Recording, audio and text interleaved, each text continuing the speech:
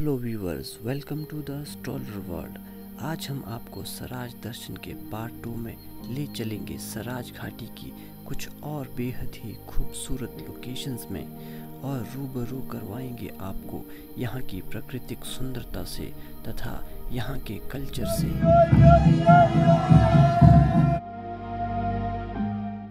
बने रहिए इस वीडियो में। अंत तक साथ ही चैनल को सब्सक्राइब करना और वीडियो को लाइक करना ना भूलें।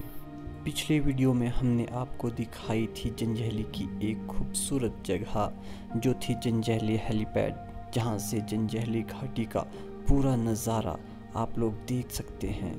आज हम लोग बढ़ रहे हैं आगे की ओर और, और आपको दिखाएँगे जंजहली के अलावा सराज घाटी की दूसरी और जगहें जो कि हैं यहाँ से भी ज़्यादा खूबसूरत।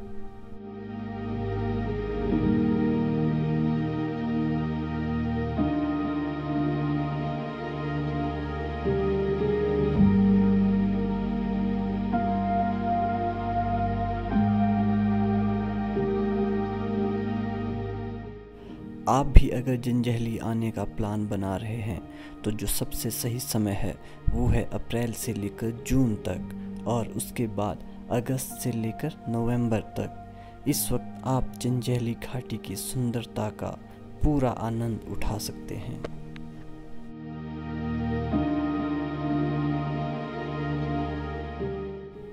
जंजहली आके आपको देखने को मिलेंगे सेब के बागीचे हरे भरे देवदार के जंगल और सुंदर सड़कें, साथ ही यहाँ के भोले भाले लोग।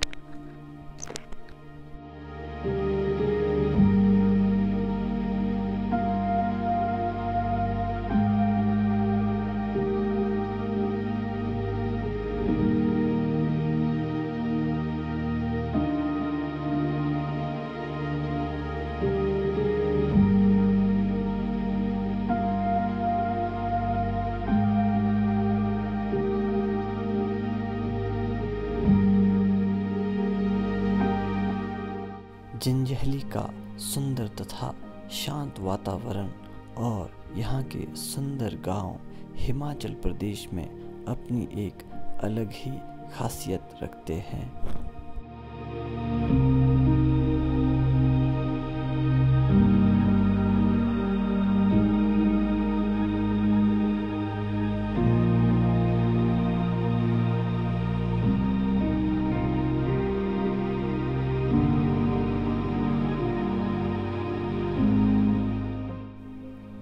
है सराज का सबसे सुंदर और प्यारा कॉलेज। यहाँ का नाम है लंबा थाज। अगर कोई यहाँ पढ़ने वाला स्टूडेंट हमारी वीडियो देख रहा हो तो कमेंट ज़रूर करें।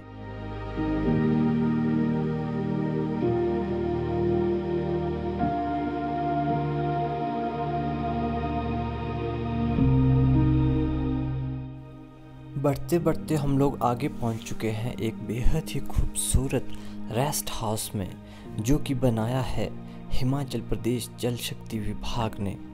इस रेस्ट हाउस की सुंदरता अपने आप में लाजवाब है।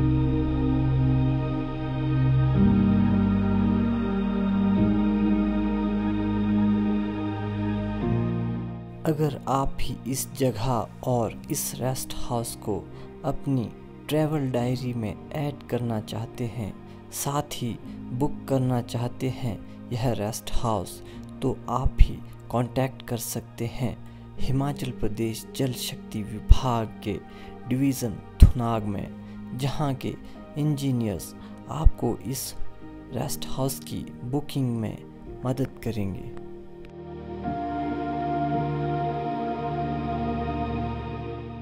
चलिए बढ़ते हैं आगे की ओर।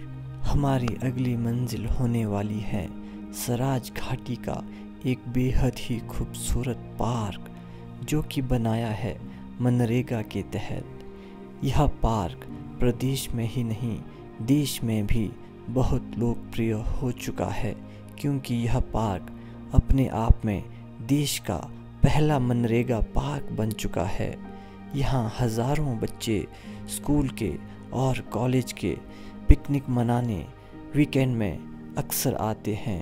आज जब हम लोग इस पार्क में आए हैं तो यहाँ एक बहुत ही बड़ा मेला लगा हुआ है।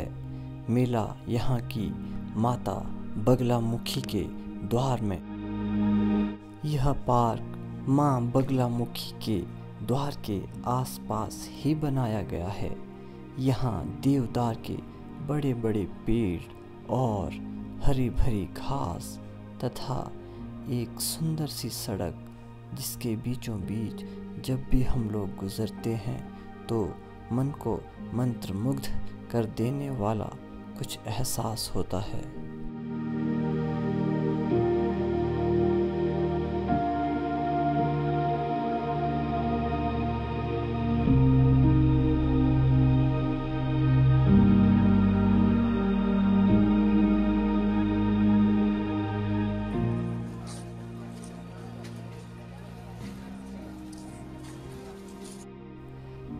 पहाड़ी लोग बहुत ही ज़्यादा मेहनती होते हैं। ज़्यादातर समय ये लोग अपने काम में ही व्यस्त रहते हैं। ऐसे में यहाँ ये मेले लोगों को आपस में मिलाने का काम करते हैं। लोग अपना काम छोड़ के इन मेलों में ज़रूर आते हैं और साथ ही अपना शीश माता रानी के दरबार में झुकाते हैं। इस पार्क के मेन गेट से अंदर एंटर होते ही अंदर का विशाल पार्क हमें दिखाई देता है। सबसे पहले हम लोग चलते हैं माँ बगला मुखी के दरबार में। अभी जो आपको दिख रहा है मंदिर, यह दशकों पुराना माँ बगला मुखी का मंदिर है, जहाँ माँ बगला मुखी अपनी देवीय शक्ति के रूप में विराजमान हैं।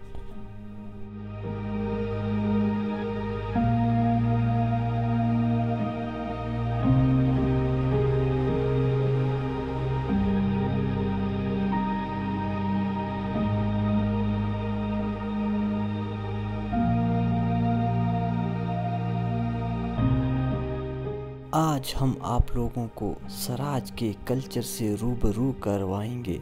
हज़ारों लोग यहाँ आके इस मेले में सामूहिक नृत्य में भाग ले रहे हैं और हर्षों उल्लास के साथ आनंद ले रहे हैं। बच्चों से लेके बूढ़े तक इस नृत्य में भाग ले रहे हैं। वर्षों से यह लोग पीढ़ी दर पीढ़ी इस परंपरा को संजोए हुए हैं और आगे बढ़ा रहे हैं।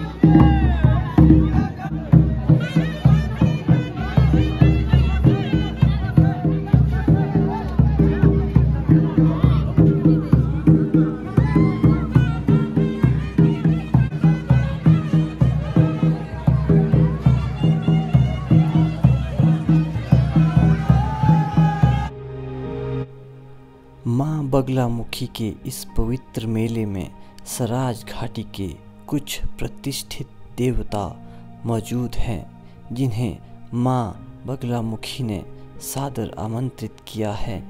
जिनमें यह देवता अभी जो आपके सामने दिख रहे हैं, ये है देव मतलोड़ा जो कि इस घाटी में बहुत ही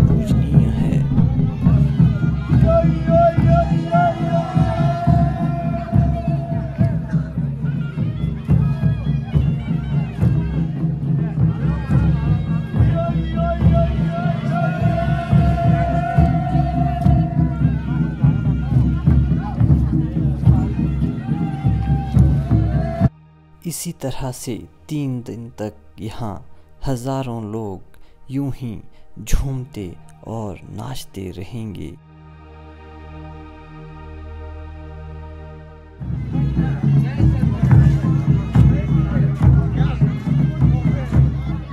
आपने अभी तक इस घाटी और मनरेगा पार्क का दीदार नहीं करा है तो अपनी फैमिली के साथ यहाँ ज़रूर आएँ।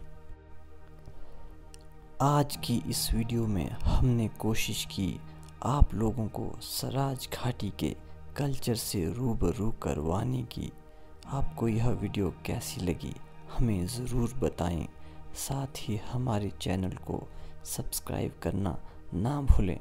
फेसबुक पे हमारे चैनल को फॉलो करें और वीडियो को शेयर करते रहें।